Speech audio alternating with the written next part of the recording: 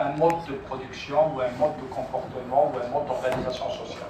En fait, si on revient même à l'histoire de l'humanité, on peut euh, situer cette révolution comme étant une grande mutation que l'humanité est en train de connaître au même titre que euh, les évolutions passées. C'est pour ça que moi j'ai tendance à rapprocher ça au grand débat ou là, aux grandes évolutions, aux grandes transformations que l'humanité. Hein. je ne parle pas du monde, je ne parle pas d'un coin du monde inconnu.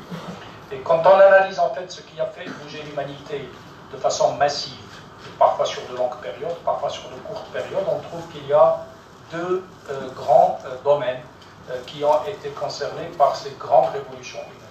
Le premier, c'est la maîtrise de l'énergie. la première révolution dans l'humanité, c'est la maîtrise du feu, hein, qui a fait que l'homme a pu maîtriser son sort, maîtriser la nuit, maîtriser l'obscurité, etc. puis la deuxième, et le deuxième volet, c'est tout ce qui touche à la communication. Communication dans ces deux sens, communiquer entre personnes et communiquer au sens du transport. Donc quand on analyse toutes les grandes évolutions que l'humanité a connues, c'est ces deux composants. La communication avec ces deux volets et euh, l'énergie. Alors l'énergie, vous allez trouver évidemment, depuis la, maîtrise du feu, euh, il s'est passé euh, ensuite un autre volet qui est la maîtrise de l'énergie animale. Hein. c'est la domestication qui a permis l'agriculture, permis un certain nombre de choses. Et puis on est resté comme ça, le feu, l'animal, jusqu'à la révolution industrielle où on a maîtrisé une nouvelle sorte d'énergie, c'est la vapeur, qui a transformé le monde. Alors vous voyez, ça a pris des milliers d'années pour les premiers, et puis la vapeur euh, qui a révolutionné le monde en, un siècle à peu près, est venue après l'électricité, autre source d'énergie, puis l'énergie nucléaire, et tout ça a transformé le monde et a rendu la mondialisation possible, toujours avec des cadences de plus en plus rapides. De l'autre côté, la communication, c'est évidemment d'abord le langage parlé, ensuite l'écriture, ensuite l'imprimerie, ensuite euh, tout ce qui touche à la téléphonie, donc on permet de communiquer à distance, la télévision, etc. Et puis d'un autre côté, sur le volet communication, c'est la maîtrise d'abord de l'animal, moyen de, locomotion, le cheval, puis la vapeur encore avec ses conséquences sur euh, le bateau, hein, la maîtrise du vent, la maîtrise de la vapeur, le train, puis la voiture, puis l'avion, puis etc., etc. Donc voilà les grandes évolutions. Alors on peut dire, est-ce que le numérique aujourd'hui rentre dans cette catégorie-là? Des grandes mutations qui font que l'humanité est en train de connaître autre chose du même style que ces grandes évolutions La réponse est oui, on va le, développer un peu plus. Pourquoi? Parce que on a, cette fois-ci, pas dans le sens de l'énergie, hein, parce que, quoique, j'y reviendrai, mais en termes de communication, la rapidité aujourd'hui de la circulation de l'information n'a jamais été atteinte comme elle l'est aujourd'hui. La maîtrise de la connaissance et la maîtrise du savoir n'a jamais été aussi important qu'il l'est aujourd'hui. Donc on peut dire que le numérique touche la capacité des humains à maîtriser comme jamais dans leur histoire la donnée, la connaissance et de la faire circuler à une vitesse extraordinaire, à tel point qu'aujourd'hui, ça n'est jamais arrivé dans l'histoire de l'humanité. N'importe qui, n'importe quel être humain est capable d'accéder à tout le savoir humain à partir de chez lui, qui est disponible, qui est quasiment gratuit et qui est disponible instantanément. Ça, c'est en train de modifier tout notre comportement, notre société, euh, notre organisation politique, etc. Et on n'est qu'au début du process de cette révolution. Cette révolution a une particularité aussi, c'est que, alors qu'il a fallu des milliers d'années pour que les premières grandes évolutions euh, soit assimilée par l'homme. Les suivantes ont pris quelques dizaines d'années, un siècle pour la vapeur, puis on a raisonné en dizaines d'années. Maintenant, on raisonne en semaines. La, technologie est telle que, euh, son évolution est telle qu'en l'espace d'un an, il se passe des choses absolument incroyables. Quand vous voyez comment euh, le smartphone a été diffusé aujourd'hui et comment il devient un outil de tout le monde, il est presque impossible d'imaginer comment on a pu vivre sans il y a à peine 15 ans. 15 ans, ça, date de 15 ans. Et voyez avec quelle rapidité les choses sont en train de bouger. Donc on est sur une révolution aujourd'hui, c'est pour ça qu'elle est plus lourde, plus importante que toutes celles qu'on a connues dans le passé. C'est qu'elle ne donne pas à l'humanité le temps de s'adapter. Et donc la disqualification de certains est beaucoup plus importante. Mais par contre, ça ouvre un champ. C'est que pour ceux qui sont en retard, c'est un outil d'adaptation de mise à niveau beaucoup plus rapide qui permet de conserver ou de griller les étapes. En tant que révolution industrielle, il n'était pas possible pour un pays d'être au top de ce qu'étaient les grandes puissances industrielles, sauf à travailler sur 10, 15, 20 ans. C'est ce qui s'est passé en Japon, ce qui s'est passé en Corée, etc. Pour la, la révolution que nous connaissons, ben, en un an, on peut faire des pas extrêmement gigants. Donc c'est en même temps un risque majeur de disqualification, mais en même temps une chance incroyable de mise à niveau pour ceux qui le souhaitent, et c'est en ça que euh, j'estime qu'on doit dans nos pays, on marque un certain nombre de retards sur certaines choses, d'être extrêmement attentif à ce qui se passe parce qu'on peut griller, euh, griller les étapes. Alors, je vais revenir un peu plus de détails. Euh, juste pour euh, vous parler de ce qu'est le digital. On a vu qu'on parle de grande révolution, mais de quoi s'agit-il exactement? Les impacts sur les consommateurs et sur l'économie de façon générale. J'ai pris un exemple qu'on développera si vous le souhaitez, sur le monde de, de, la santé, qui paraît très loin de ça, mais pourtant qui est extrêmement concerné. C'est juste à titre purement d'illustration, sachant que beaucoup de secteurs sont concernés. Alors, juste une réalité. Vous voyez par exemple l'application WhatsApp tout le monde ici connaît, inventée par quatre euh, jeunes dans leur bureau, qui a été vendue à Facebook à 19 milliards de dollars. Alors 19 milliards de dollars, c'est la totalité de ce que produit l'industrie musicale mondiale. C'est le PIB d'un pays comme le Sénégal. C'est un titre de, comparaison encore plus ludique, si je puis dire, l'organisation de la Coupe du Monde au Brésil, hein, qui a coûté 14 milliards de dollars. Et euh, on estime qu'aujourd'hui, il faut 6 milliards de dollars pour envoyer des gens s'installer sur Mars. Donc, juste pour comparer les chiffres. Donc il s'agit d'une chambre gigantesque Comment peut-on créer autant de valeur en 4 ans par 4 personnes, en 4 personnes Si les gens ont payé pour ça, ce n'est pas des fous, c'est qu'ils estiment que ça vaut bien, à minima, quelque chose qui approche cette valeur. Ils peuvent se tromper, mais pas euh, à, à, à, à, 10 000% Ils se tromper de, de, moitié, du tiers, mais enfin, bon, ça peut être 10, ça peut être 15. Mais enfin, voilà de quoi on parle. C'est la capacité de créer et le pourquoi. Pourquoi WhatsApp vaut autant d'argent? Alors, le digital, c'est euh, disruptif. Ça, ça, touche tout le monde. Et là encore, à titre d'illustration, vous prenez euh, un site comme Blablacar aujourd'hui. Blablacar, c'est un site d'échange. En fait, vous vous connectez, pour ceux qui ne connaissent pas, vous dites je veux aller de tel endroit à tel endroit. Il y a un particulier qui rentre là-dedans et qui vous dit moi-même, moi je fais tel chemin, donc je vous attends à tel endroit. Et puis, vous payez une partie de la course. Blablacar aujourd'hui offre des 38 000 point de départ en France, tous les week-ends, lorsque la SNCF, il y a plus d'un siècle, n'offre que 3 000 gares. Voilà la comparaison. Dans le monde de l'hôtellerie, euh, Airbnb, qui a 4 ans, enfin un peu plus maintenant, gère 4 millions de chambres. Pour ceux qui ont fait l'expérience, ça fonctionne, ça fonctionne très bien. Quand Hilton, la chaîne, sur 80 présents, ne gère que 600 000 chambres aujourd'hui. Alors on dirait que ce pas les mêmes, mais enfin, vous avez affaire vous, quand vous appelez Hilton ou Airbnb, c'est pour aller passer un moment quelque part. Vous pouvez même aujourd'hui mettre votre domicile dans Airbnb. Donc il y a un nouveau modèle. Pourquoi il est permis aujourd'hui? Tout simplement parce que l'économie numérique a permis de connecter les gens rapidement et que l'information a permis cela. Donc voilà des modèles disruptifs, c'est-à-dire de nouveaux acteurs qui n'existaient pas, qui viennent qui rentrent et qui ont euh, des valeurs euh, pas celles de WhatsApp, mais qui sont à peu près dans cette même, dans cette même logique. Alors, euh, je le disais tout à l'heure, euh, les anciens modèles d'évolution, industrielle ou autre, connaissaient à peu près la courbe au milieu, c'est-à-dire on a une période de, de, croissance majeure, on a une période de maturité, puis une période de décroissance qui se trouve être l'invention de quelque chose de nouveau qui vient se substituer, qui lui-même rentre dans un cycle pareil jusqu'à ce que la prochaine innovation majeure vienne, vienne prendre le relais. Aujourd'hui, ce qui change pour tous les secteurs, c'est qu'on n'a pas le temps de la maturité, qu'une évolution vient déjà casser le rythme, et c'est en phase de progression qu'on euh, voit une nouvelle évolution technologique casser ce qui est en train d'arriver, alors même qu'on est en période de croissance. Un exemple, tout le monde a entendu parler d'Uber, hein, qui est venu au Maroc, même s'il est reparti. Euh, Uber est un modèle, on parle d'ubérisation de l'économie, etc., c'est-à-dire venir voir un acteur nouveau arriver, vous cassez votre business model. Or, Uber est en train d'être ubérisé. C'est-à-dire d'autres modèles sont en train d'apparaître aujourd'hui qui fonctionnent autrement que Uber et qui font que Uber ne, ne, tient plus là. Notamment, c'est des modèles euh, d'échange. On les voit beaucoup en Chine, euh, qui sont des modèles qui sont un peu plus efficaces qu'Uber. Et donc Uber, qui est en période de croissance, n'a même pas eu le temps d'atteindre la maturité, qu'il est cassé. Et ça, on va le voir, et on le subit maintenant dans beaucoup de secteurs économiques, le secteur financier, le secteur de l'industrie, le secteur médical dont on va parler, etc.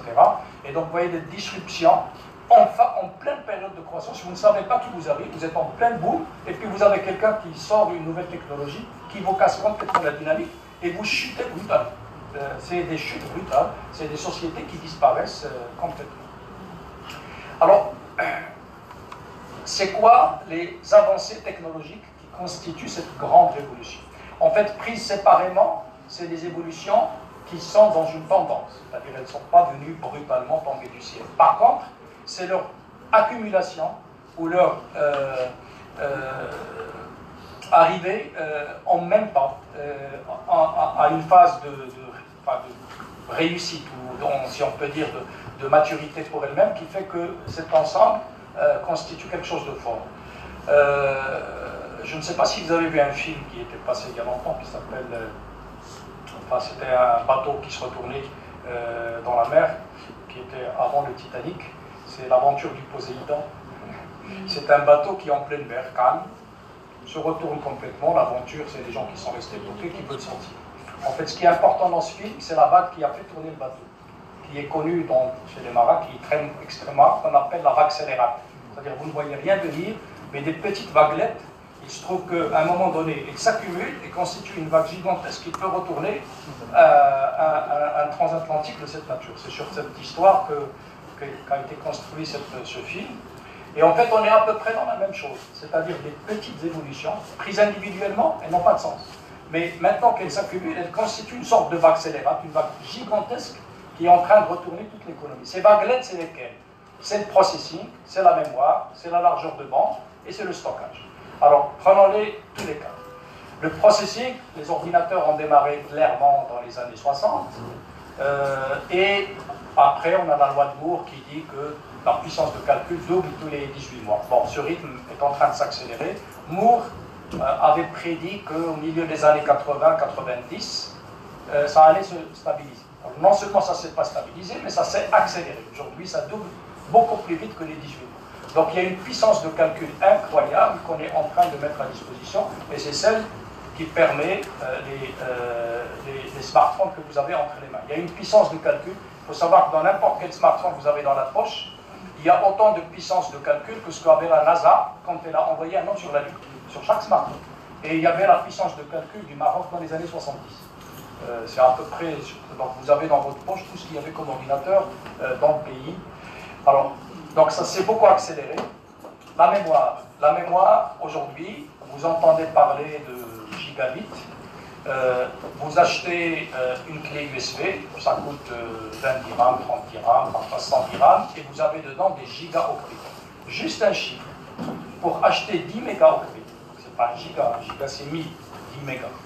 1000 mégas, aujourd'hui vous l'achetez à 20 dirhams à peu près. 10 mégas dans les années 80, c'est pas loin, valait 10 millions. Alors en fait, on est aujourd'hui dans un monde où le stockage est devenu quasi gratuit. Plus personne ne réfléchit au stockage. Vous avez votre ordinateur qui a plusieurs gigas, vous achetez une petite USB, vous la chargez, vous la jetez alors qu'elle contient euh, plus que ce que le Maroc, là encore, avait comme capacité de stockage juste il y a une vingtaine d'années. Euh, vous avez euh, donc la largeur de bande, en fait ça c'est tout ce qui touche la communication, c'est les 3G, les 4G. Aujourd'hui, on est capable de communiquer à très grand débit sur de longues distances et de façon extrêmement euh, peu coûteuse. Donc la capacité de stocker, de traiter et d'avoir des sites de stockage c'est le fameux cloud dont vous entendez parler, c'est-à-dire une délocalisation. Vous ne savez même plus où vos données sont stockées, mais elles sont stockées quelque part. C'est la dématérialisation du stockage, ou au point où euh, aujourd'hui se poser la question combien ça va coûter de stocker n'est plus une question posée par personne. C'est ce qui nous amène tous à photographier à tort et à travers. En fait, on se pose même plus de questions combien coûte le stockage de ces photos, tellement euh, c'est pas cher. Donc alors tout ceci amène quoi? Il amène une prolifération incroyable de données. Il faut savoir qu'aujourd'hui, on produit tous les ans, ou tous les deux ans, ça dépend des chercheurs, hein, il y a des avis là-dessus, l'équivalent en données de ce que l'humanité a produit jusqu'à 2030. Et cette quantité double de façon extrêmement rapide. On estime que le savoir humain, le savoir humain double tous les 7 ans. Donc, euh, voyez, le savoir, toute la connaissance produite, y compris les articles de recherche que vous écrivez vous-même, euh, tout ça. Il y a une accélération fondamentale qui fait qu'aujourd'hui, euh, on produit des données. Alors, les données avant, c'est pas qu'elles n'étaient pas stockées, mais elles étaient stockées d'une façon beaucoup moins commode. Elles étaient stockées comment ben, Sur des livres. Ces livres étaient dans des librairies.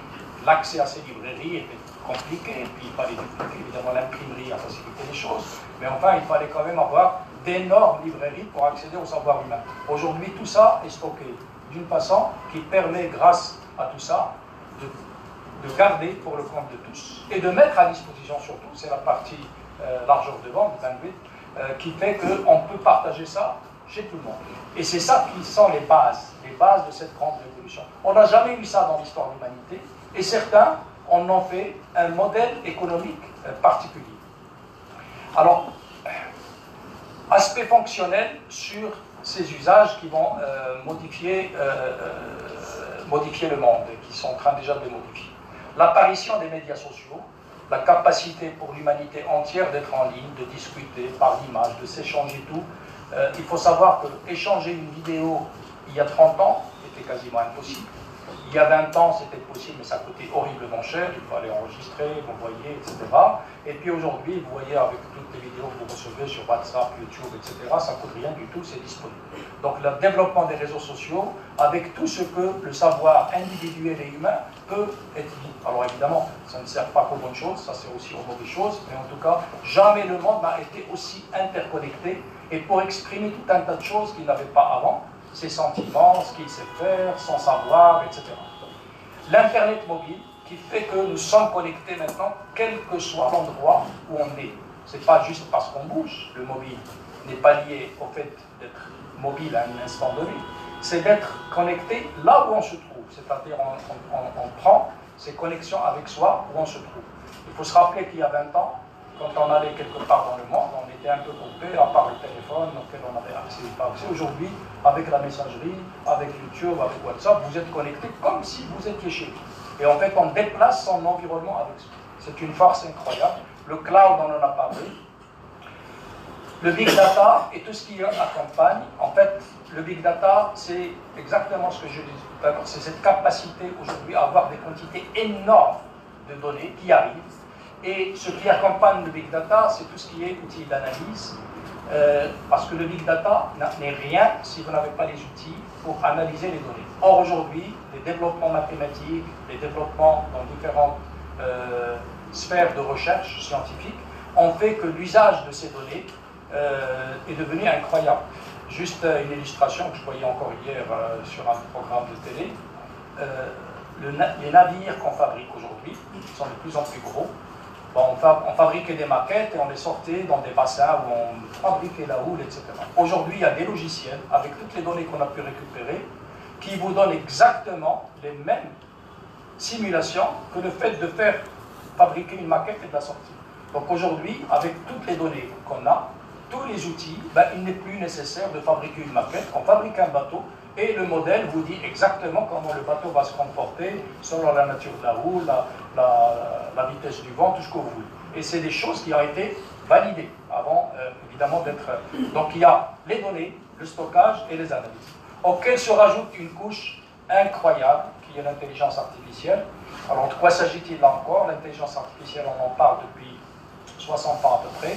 C'est Alain Turin qui a été précurseur en la matière mais qui a atteint un cap de maturité il n'y a pas longtemps, hein, il y a à peine 6-7 ans, c'est-à-dire ça date d'après 2010, lorsque les techniques de deep learning ont été euh, inventées. En fait, de quoi s'agit-il? Il, s'agit de dire à l'ordinateur, voilà comment apprendre par toi-même.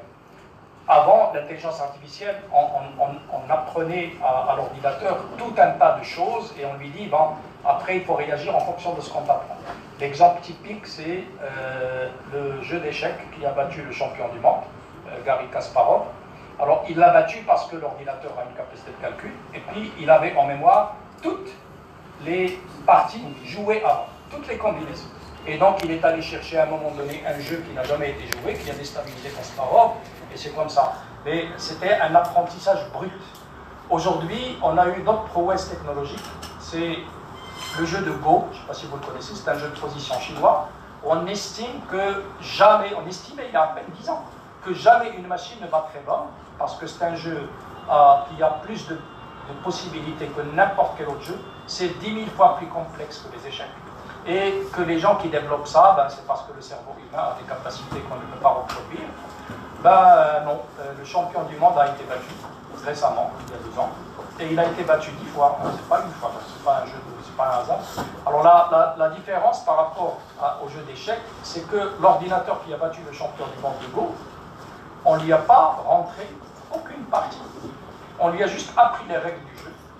Et par les mécanismes de deep learning, c'est-à-dire d'apprendre de ses propres échecs, il a joué contre lui-même pendant quelques heures et il est devenu champion. Et donc il est en capacité de temps apprentissage. Et ça, c'est en train de se développer dans beaucoup de secteurs, qui fait qu'on dit aujourd'hui que l'intelligence artificielle est capable de remplacer l'homme dans beaucoup de métiers qui étaient considérés comme des métiers totalement intellectuels. Donc euh, cette évolution qui est récente, qui fait qu'aujourd'hui, la traduction simultanée, euh, que vous trouvez sur les textes, mais la reconnaissance vocale, qui était considérée comme des choses euh, qui était la science-fiction, ou en tout cas qu'on ne pouvait trouver que dans des grands organismes euh, étatiques, etc. Aujourd'hui, ils sont sur votre smartphone. Votre smartphone, vous lui parlez, il vous, il vous connaît, c'est de l'intelligence artificielle euh, qui est dedans. Les objets connectés, et l'élément important aussi de cette grande évolution, c'est qu'aujourd'hui, il n'y a pas que les humains qui sont connectés. On estime à quelques milliards d'objets connectés, et bientôt 20 milliards, c'est ce qu'on estime à l'horizon 2020. Tous ces objets produisent de la data. Alors c'est des objets particuliers, donc ils sont simples, un frigo, etc. Mais il n'y a pas que ça. Il y a par exemple un réacteur d'avion.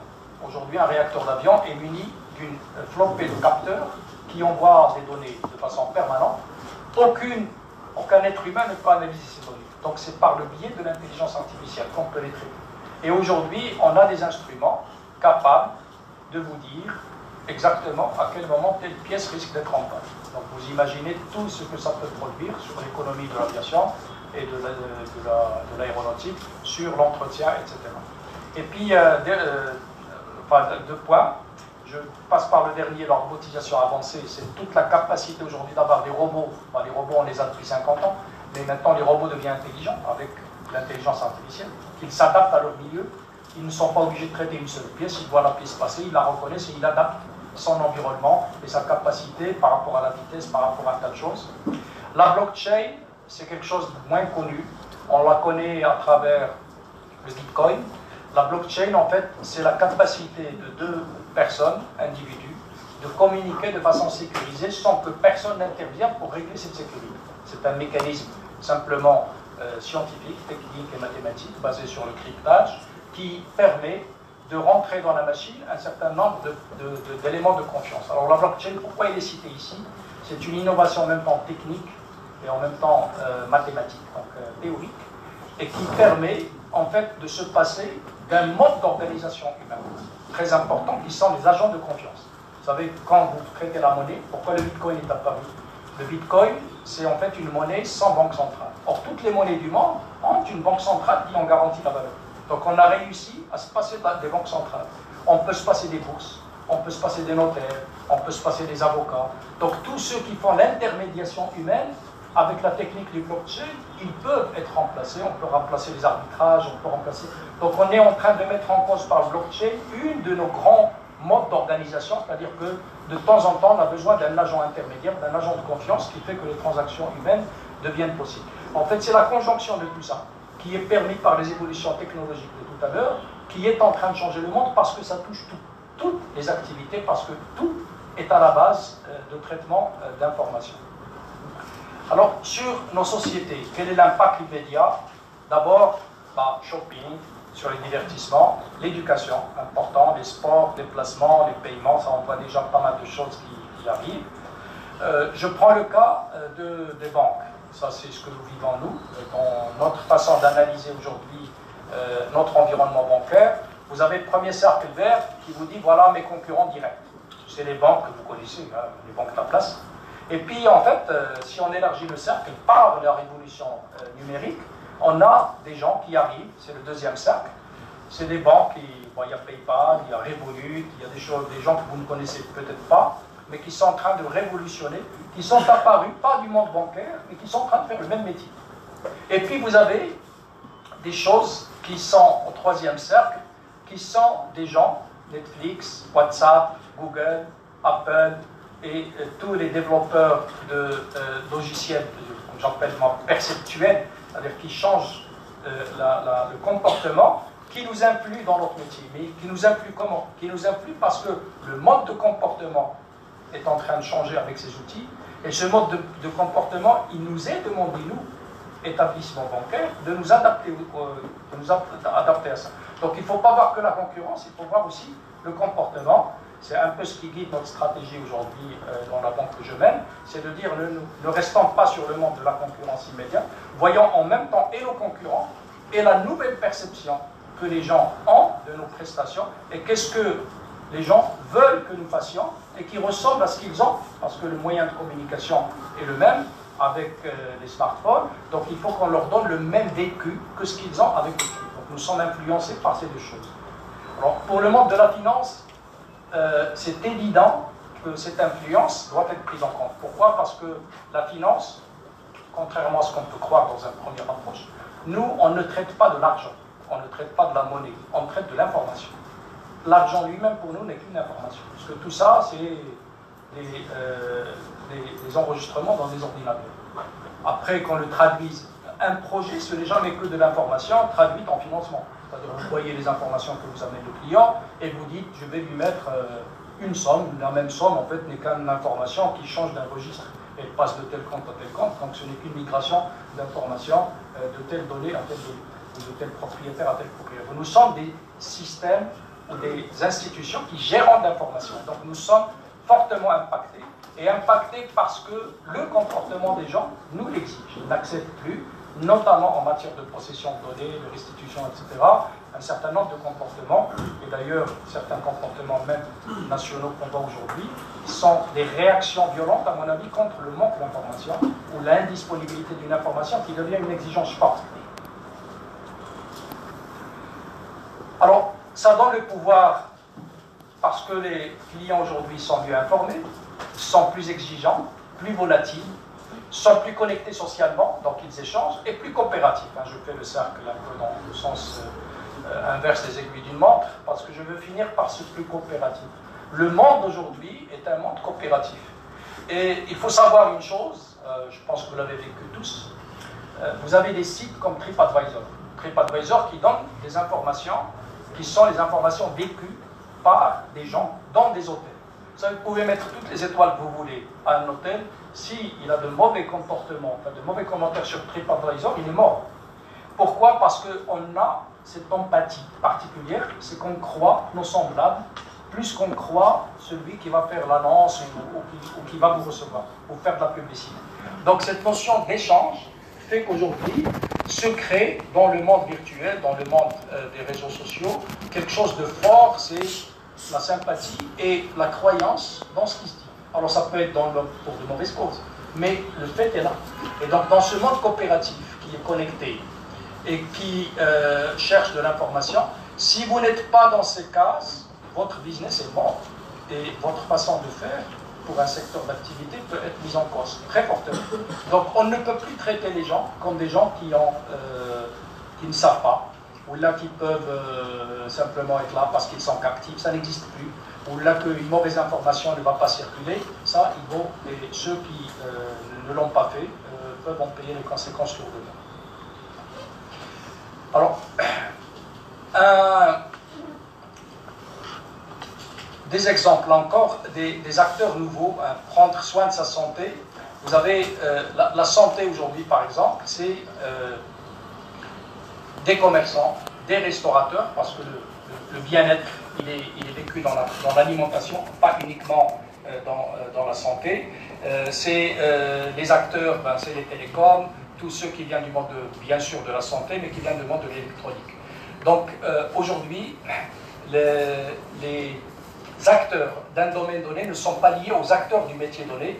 Là, c'est illustré un petit peu dans les différents services, la santé, les paiements, le commerce, euh, l'apprentissage, euh, la production et les voyages, on a parlé déjà de, ça. Euh, quelques cas, je n'insiste pas dessus parce qu'on a parlé de certains. Élément aussi important, on a dans une économie aujourd'hui où une économie de partage. On parlait de coopérative, mais aujourd'hui, nous sommes en train de passer, ça c'est les paradigmes nouveaux de l'économie euh, économie numérique, nous passons d'une culture de la possession à une culture de partage. Aujourd'hui, quelqu'un qui a une voiture, qui a une maison, la met à l'aise au bénéfice des autres, par Airbnb, par Blablacar, etc. Donc comment ça va changer la société aujourd'hui? Dans les grandes villes où les transports sont organisés, les gens estiment que ben, le vélo, il va prendre le vélo commun, la voiture, il rentre en Blablacar, il a sa voiture, les transports en commun existent, s'il veut loger, il va rentrer sur Airbnb. Donc nous sommes en train progressivement de passer de la culture de la possession à une culture du partage ou de l'usage. C'est-à-dire je prends quelque chose, je l'utilise le temps dont j'en ai besoin. Avoir une voiture que je n'utilise qu'à 10% de mon temps va de plus en plus apparaître comme une aberration économique. Et de dire, ben, cette voiture, ben, vaut mieux que d'autres au lieu qu'elle passe pas en garage, d'ailleurs elle dérange tout le monde, parce qu'une voiture qui ne circule pas, c'est de mettre pour tous, autant que le, la plupart des gens euh, utilisent. On est, euh, j'imagine des choses que vous connaissez, hein, euh, le coût marginal zéro, c'est la capacité aujourd'hui à produire avec un coût très réduit, ou zéro même, c'est la disponibilité de la musique sur Internet. Ben, le énième utilisateur de ce morceau de musique, même qu'il se la produit, ben, ne coûte rien à personne. Et du coup, ça influe sur les prix. Même aujourd'hui, des livres euh, qui, étaient anciens euh, se trouvent sur Internet et il y a toujours un, consommateur qui apparaît. D'ailleurs, ceux qui développent cette théorie disent que euh, le modèle même de production doit changer parce qu'on n'a plus besoin, un livre, soit il se vend à 100 000 ou alors il est mort, ben, même s'il se vend à 2 unités, 3 unités, mais sur 10 ans, il ne va jamais perdre son public du moment qu'il reste disponible. Parce que les techniques avant, c'est que les capacités de stockage étaient limitées et la capacité de mettre le produit en contact avec le public était très coûteuse. Maintenant que ceci tombe, là, on peut laisser quelque chose vivre ah, parce que justement le coût de le laisser visible et de le laisser est un, est un coût euh, réduit à zéro. Et donc ça change.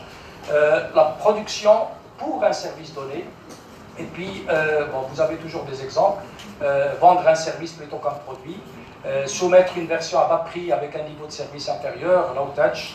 Euh, vous avez des choses, aujourd'hui même, vous avez quelqu'un qui met quelque chose, euh, un contenu, et vous le payez à température. Ça vous plaît, vous payez, ça vous plaît pas, vous ne payez pas. Et contrairement à ce qu'on croit, ça marche. vous avez d'énormes systèmes que l'on utilise tous. Wikipédia marche comme ça. Wikipédia, en fait, c'est le savoir humain qui est mis à disposition par certains. Il y a une équipe qui, qui gère ça. Et ça, se gère par des gens qui estiment que c'est bien. Et parce que c'est bien, je vais envoyer de l'argent. Et ça arrive à tout le monde. Une illustration dans le monde de la musique de toutes ces... Bon, on est passé des notes euh, en plus orchestre, les enregistrements, pour ceux qui s'en rappellent, sur vinyle, puis sur CD, les musiques MP3, puis euh, les euh, magasins type iTunes, la musique en streaming aujourd'hui, et puis on ne sait pas trop à quoi ça va aboutir derrière, mais c'est déjà en train d'évoluer.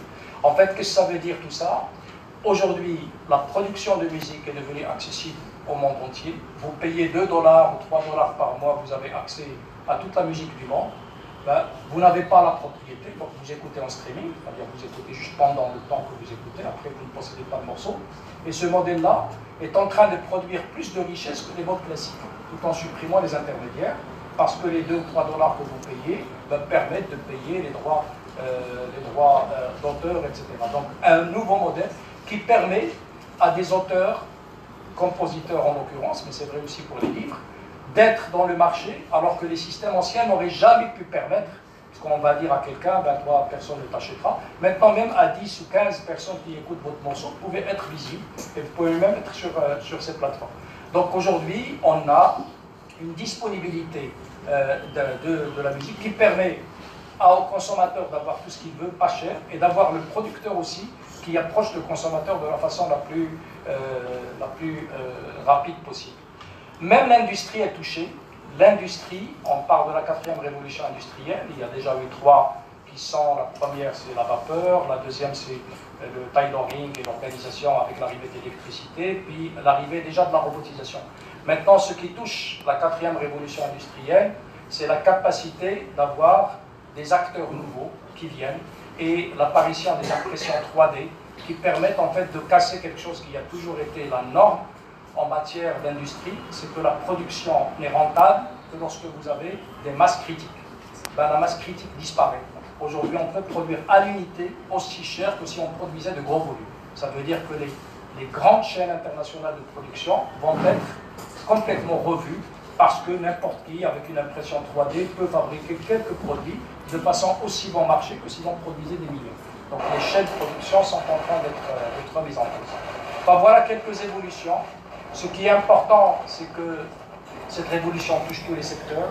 Elle, elle émane d'un euh, nombre d'évolutions technologiques qui modifient euh, la donne et qui ont créé de nouveaux paradigmes économiques. Un des paradigmes économiques d'ailleurs que vous connaissez aussi, c'est la gratuité et qui est illustré par le fait de dire, bah, puisque toute la connaissance est gratuite, je peux taper sur Google, j'ai tout ce que je veux, mais comment ces gens-là gagnent leur vie? Ben, Comme disait quelqu'un, ben, quand euh, c'est gratuit, le produit c'est vous. Et en fait, c'est les données que vous donnez vous-même, spontanément, à Facebook, à Google, qui sont la vraie marchandise. Et aujourd'hui, le vrai enjeu de demain, c'est qui maîtrisera les données? Et cette bagarre, elle est menée aujourd'hui entre trois grands blocs. Les États-Unis qui sont en train de remporter la bagarre de le monde occidental, la Chine qui a décidé de ne pas, de, ne pas dépendre des États-Unis et qui développe euh, ses propres produits. Donc ils ont leur Facebook, ils ont leur Google, ils ont tout ce que vous voulez, et ils sont en train de prendre le pas, même sur les États-Unis, sur l'intelligence artificielle, parce que leur protection de données étant à un niveau plus faible, ils peuvent se permettre des choses. Aujourd'hui en Chine, il faut le savoir, il y a des logiciels, vous passez dans la rue, la caméra vous capte et on sait qui vous êtes tout de suite. Il faut savoir que derrière, il y a une capacité de calcul gigantesque pour repérer un visage et le repérer. Alors quand vous faites ça pour un milliard de personnes, euh, vous imaginez, ça c'est tout ce qu'on a dit tout à l'heure sur le stockage, sur l'intelligence artificielle. La Chine est en train de battre tout le monde. L'Europe qui est en train de perdre la bataille et qui, à mon avis, réagit plus mal encore. Pourquoi? Parce qu'ils sont en train de verrouiller les données, alors, tout ça part d'une bonne cause. On veut verrouiller les données pour protéger les données personnelles des gens, protéger ses citoyens. Mais pendant ce temps-là, ben, les autres se développent et pas eux. Et il va arriver en Europe, comme ce qui est arrivé pour la recherche euh, sur les gènes et sur euh, les, OGM, etc., ben, ils vont se priver d'une évolution qui va révolutionner le monde. Maintenant, un, cas d'illustration parce qu'il touche justement les données personnelles au plus haut point, c'est pour ça que je faisais la transition. Il n'y a pas plus euh, confidentielles que les données de santé. Personne n'a envie que ces données de santé soient partagées par des gens. Sauf que l'évolution qui est en train de s'opérer aujourd'hui est une, euh, est une donnée, enfin, quelque chose de fondamental basé sur les informations. On va voir le cas américain. En fait, là, c'est une courbe juste qui dit euh, quels sont, euh, en termes de maturité digitale, les secteurs qui ont déjà fait leur mutation ou qui sont susceptibles d'être les plus influencés. Regardez juste euh, les, euh, commentaires en, rose. Vous avez l'énergie en bas, puis euh, la santé, puis la finance, puis la vente de détail, et puis les médias. Les médias, c'est déjà mature complètement. Ça a déjà basculé complètement. Là, les, le retail, donc la vente de détail, par Amazon, etc., Alibaba en Chine, sont en train d'être totalement révolutionnés, c'est déjà parti. Vous avez le secteur bancaire, c'est la fin d'un monde et, l'arrivée d'un autre.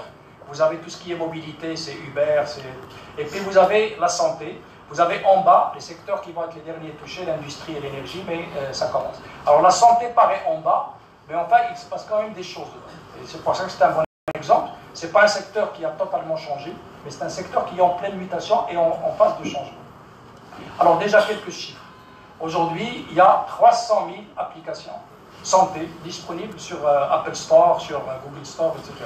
Donc des gens qui ont développé des choses et qui le mettent pour éditer les ordonnances, mesurer la forme physique, ben ça vous le savez, vous avez les montres connectées, etc.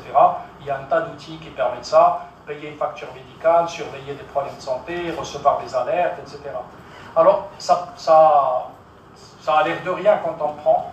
Ce qu'il faut savoir tout simplement, c'est que tout ça, toutes ces applications sont des capteurs d'informations qui remontent et vous ne savez pas où ça remonte. Ce qui est important, c'est que beaucoup de données. Alors aujourd'hui, toute l'astuce, c'est vous assurer votre confidentialité propre, mais d'utiliser votre donnée anonymisée dans d'autres secteurs. Il n'y a pas votre nom qui apparaît, mais votre comportement par rapport à tout ce que vous pouvez remonter sur votre santé, il pourra être utilisé pour fabriquer des, euh, traitements ou faire des croisements euh, d'informations. Vous avez 334 smart hôpitaux euh, qui existent déjà aux États-Unis et près de 2500 sont en train d'être transformés. Alors ça, c'est mettre le smart hôpital en fait. il y a évidemment toujours les choses classiques, les hôpitaux eux-mêmes, mais il y a les systèmes d'identification, il y a la connexion avec les patients, il y a la connexion avec les médecins pour tout ce qui est à distance, etc. Donc un smart hôpital, c'est un hôpital connecté avec les clients, les patients, et avec les médecins qui ne sont pas censés être là, et surtout, c'est la partie basse à droite, euh, qui utilise les données, qui stocke les données et qui va être de plus en plus capable de traiter euh, ces informations.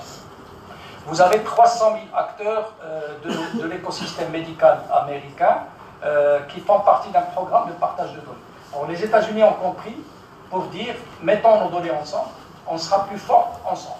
Évidemment, la donnée est anonymisée, mais euh, ça permet de collecter le maximum d'informations et donc d'être à l'avance sur la recherche médicale parce qu'on sait détecter. Aujourd'hui, certains disent qu'en cas d'épidémie, Google peut s'en apercevoir avant euh, le système de santé parce qu'il y a des mots-clés qui commencent à circuler, dès qu'on les voit apparaître en masse, ça veut dire qu'il y a quelque chose qui arrive. Et donc ces gens-là travaillent là-dessus, avec le croisement, avec les, problèmes de données. Alors ça, c'est le cas des États-Unis. Il faut savoir que la Corée, c'est plus encore, parce qu'ils sont en train de faire le, euh, le séquencement ADN de presque la totalité de la population. Donc eux, ils vont pousser la recherche jusqu'à toutes les données médicales et toutes les données chromosomiques et toutes les données génétiques pour voir s'il n'y a pas des corrélations. Alors là encore, c'est anonymisé, on ne va pas dire que c'est vous, mais ils vont savoir si leur population est soumise à telle ou telle chose et évidemment améliorer très sensiblement leur système de santé. Bon, ça c'est des exemples simplement de remontée d'informations. Euh, euh, ce qu'il faut savoir, c'est que la médecine n'est plus euh, simplement une médecine curative, de plus en plus ça va être une médecine préventive. Donc prévoir la maladie avant qu'elle n'arrive, et c'est ça l'objet euh, majeur de toutes ces recherches. Euh, bon, ça, c'est tout le cycle, en fait. Le monitoring continu, des médecins à distance, des soins accessibles, partager données, la maison connectée, les écosystèmes coordonnés, l'hôpital connecté, etc., etc., jusqu'à euh, traitement intelligent, convalescence monitorée. Ça, c'est dans la vie de, de l'individu. Mais ça touche aussi le domaine de la prévention.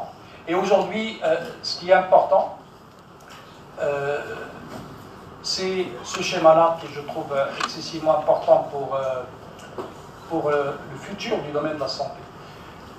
Dans le futur, ça c'est la partie droite, les décideurs, vers quel médecin envoyer le patient, quel tarif appliquer à la consultation, quel tarif appliquer aux soins et aux médicaments, vous orientez, orienter le médecin, orienter les labos pharmaceutiques pour fabriquer, ben, qui va faire ça? Ben, Les maîtres de données aujourd'hui c'est-à-dire les Google, les Apple, les Facebook, les Amazon et les assurances. Alors aujourd'hui, vous avez des assureurs qui sont capables de vous dire, si vous permettez de me connecter à votre montre connectée ou à votre smartphone, ben votre tarif d'assurance maladie, je vais le baisser, parce qu'il achète vos données, et il est capable avec ça d'identifier votre profil et donc de vous faire une assurance gratuite, ou euh, en tout cas peu chère. Et aujourd'hui, c'est des choses qui se développent. Alors imaginez les assureurs qui vont commander aux pharmaciens, là-bas, de fabriquer tel ou tel médicament parce qu'eux-mêmes savent que telle maladie ou telle autre maladie euh, va, euh, va être peut-être en, phase de croissance ou en phase de développement. Et ils vont être aussi capables de dire ben, aux organismes de santé, ben, ne remboursez pas tel médicament à un tel parce que son mode de vie ne permet pas, ou alors je vais lui compter une assurance extrêmement élevée.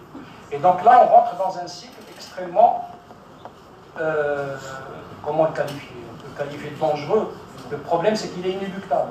C'est qu'on va être nous-mêmes amenés, pour bénéficier de ces tarifs d'assurance maladie ou de couverture, même, euh, assurance voiture bas, de donner nos informations.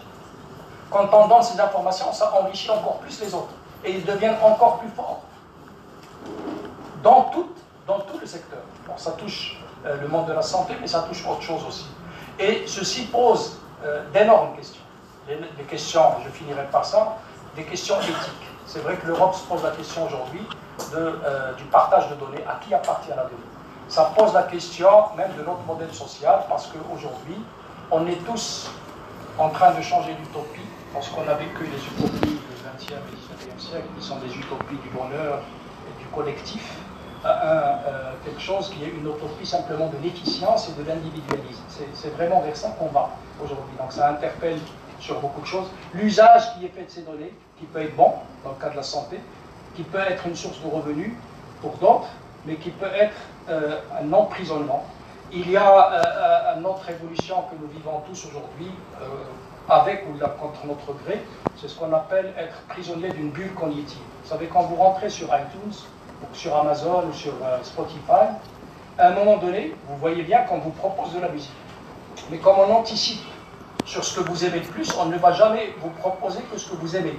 Or, c'est ce qu'on appelle la bulle cognitive, c'est-à-dire on vous restreint à votre champ, alors que l'échange permet de découvrir des choses, et là vous restez enfermé dans votre bulle, où on ne vous envoie jamais que ce qui vous aime. Alors comme on est tous un peu paresseux, ben, quand on reçoit quelque chose, une musique qu'on aime, on va écouter celle-là plutôt que découvrir une, une, nouvelle. Et du coup, chacun, et ça va enfermer, ça accentue l'individualisme dont je parle. Ça, c'est les dangers, évidemment, les usages qui sont faits des réseaux sociaux, que vous connaissez déjà, euh, pour notre politique, pour la sécurité. Tout ça interpelle. Aujourd'hui, malheureusement, il n'y a pas de réflexion éthique ou philosophique là-dessus. Pourtant, on devrait. Moi, ce que je pense, c'est que il y a une vraie révolution. Elle est inéluctable. Elle nous concerne tous en tant qu'individus, elle nous concerne en tant que nation. Il faudrait qu'on s'en empare et qu'on fasse partie des débats mondiaux, même si on n'influe qu'à la marge, mais il ne faut pas rentrer dans ce débat, et savoir quel modèle on suit pour ne pas être simplement des consommateurs de ces technologies et de s'en servir euh, pour euh, accélérer notre développement. Je souhaiterais personnellement que dans toutes les institutions de recherche, y compris économiques, qu'il y ait des masters réservés à l'économie. Je vous remercie.